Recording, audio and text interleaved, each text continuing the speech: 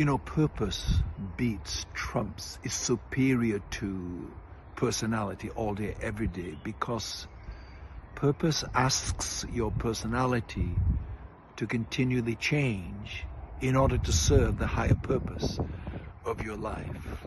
So you become a pursuer of your purpose rather than a slave to the limitations of your personality. Personality is not a fixed thing in your life. I think a lot of these sort of personality profiling tests that we do lead us to believe that whatever it tells us in the results to the personality test that we often do online is who we are, and it's not who you are.